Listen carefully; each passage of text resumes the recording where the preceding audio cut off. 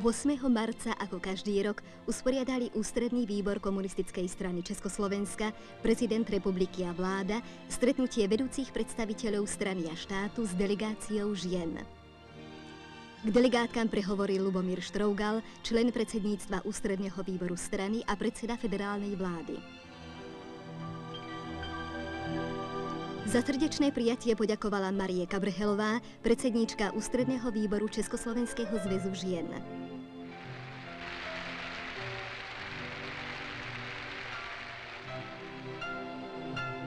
Oslava Medzinárodného dňa žien na Pražskom hrade potom pokračovala priateľskou a srdečnou besedou vedúcich predstaviteľov strany a vlády s delegátkami, ktoré zastupovali ženy zo všetkých okresov našej republiky a zo všetkých oblastí práce a života celej našej vlasti.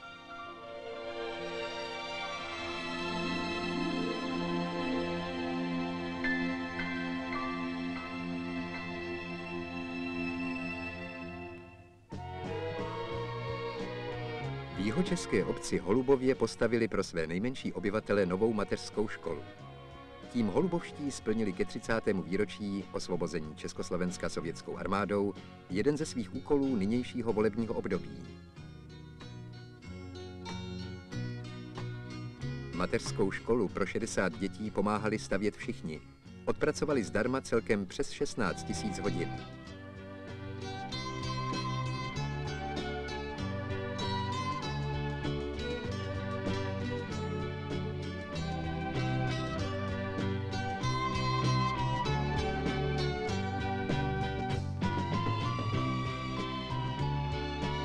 Zaměstnaným maminkám ubyla starost a děti jsou v novém hezkém prostředí spokojeny.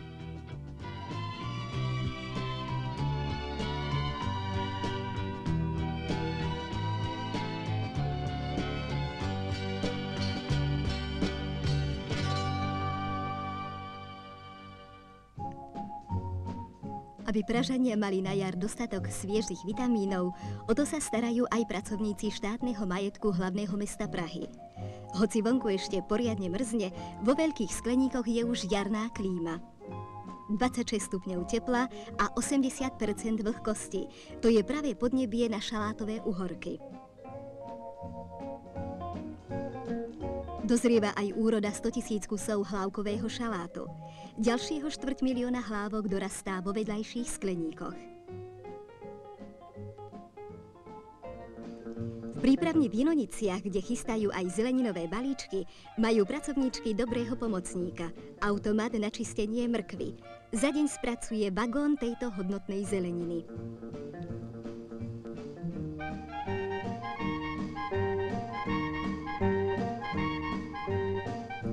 4,5 tisíc balíčkov sudovej kyslej kapusty za zmenu pripraví tento stroj pre Pražanov. Kapustový šalát by na jar nemal chýbať v žiadnej kuchyni.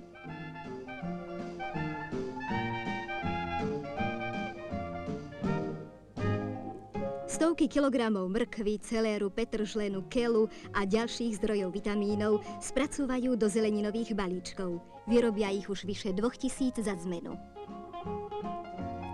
Štátny majetok hlavného mesta Prahy dodáva do pražských domácností z domácich zdrojov veľkú časť potrebných vitamínov a tak prispieva ku zdraviu Pražanov.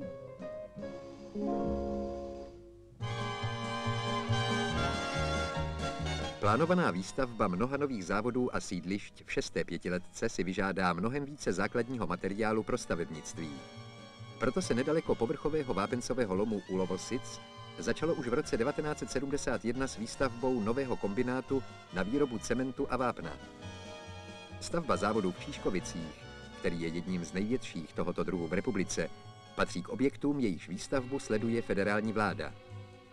První surovina začala padat do drtičů v den 58. výročí Velké říjnové socialistické revoluce. Tím budovatelé kombinátu splnili svůj závazek vyrovnat velké spoždění ve výstavbě.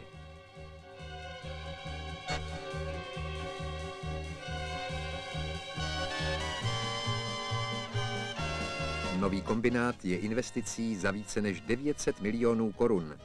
Nahradí už zastaralou Číškovickou cementárnu a při plném využití kapacity bude ročně produkovat 584 tisíce tun cementu a 102 tisíce tun hydraulického vápna. Cementárna Číškovice přispěje ke splnění náročných úkolů, které pro stavebnictví určí 15. sjezd komunistické strany Československa.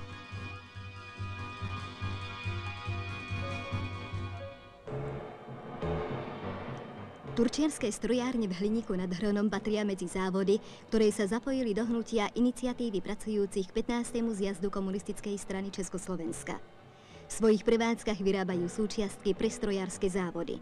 Zdalo by sa, že v zabehnutom spôsobe výroby už niečo zlepšiť. A predsa chcú dosiahnuť úspory na materiály pri výrobe od liatkov presnejšou prácou pri liati a vytrieďovaní odpadovej liatiny.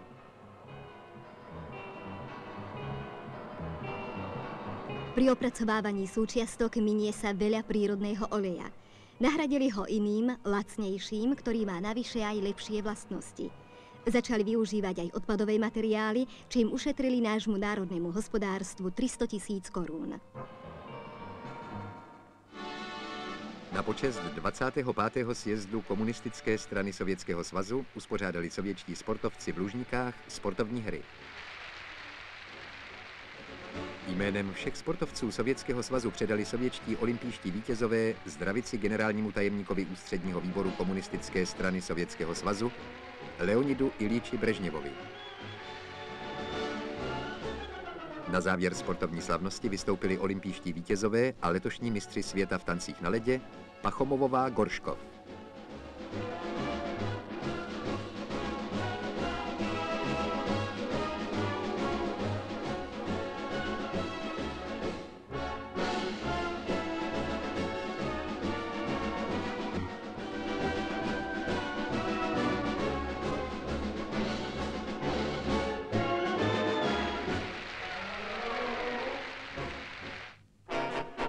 Takmer 100 pretekárov, mužov, žien a dorastencov z Európy zo zámoria sa zúčastnilo na majstrovstvách Európy v jazde na skiboboch na červenej zjazdovke v Špindlerovom mlyne.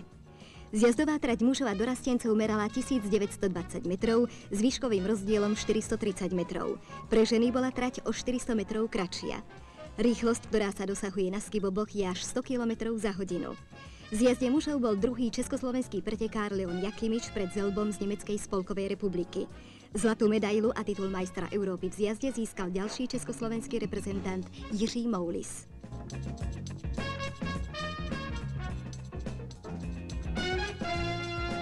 Trať obrovského slalomu merala 1400 metrov a mala 52 bránok. Zledovateľný sneh bol veľkou prekážkou aj pre takých favoritov, ako je Švajčia Rej, Rakúšania Gassera Schwab a Kaiser z Lichtensteinska a žiaľ aj pre nášho Jiřího Moulisa. V pretekoch žien išla výborne naša Hrbková, bola druhá. Opäť nám urobil radosť Leon Jakimič, ktorý dosiahol tretí najlepší čas, bronzovú medailu za obrovský slalom a v celkovej kombinácii bol druhý za Rakúšanom Fletzbergerom.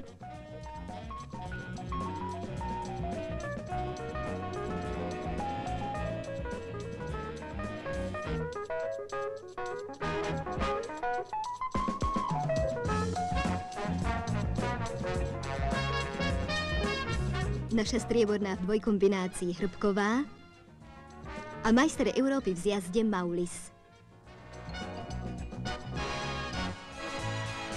Také mistrovství Evropy juniorů v klasickém lyžování se konalo u nás v Bedřichově a na Ještědu. Vyvrcholilo soutěží ve skoku prostém na středním můstku s kritickým bodem 88 metrů. Zatímco v závodě združeném získal československý reprezentant Vedral druhé místo, ve skoku byl František Novák třetí. Obě medaile jsou ceným úspěchem československých barev.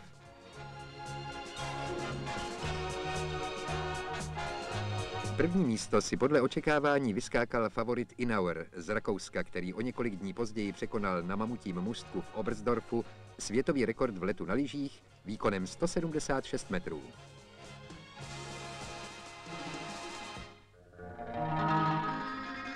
Tieto skoky do majstrovstiev Európy juniorov už nepatria. Ukazujú ich v bavorskom Sudelfelde najlepší lyžiarskí artisti z Európy, Spojených štátov a Kanady v súťaži o svetový pohár vo voľnom štýle skokov na lyžiach. O túto novú športovú disciplínu majú najväčší záujem výrobcovia sadry.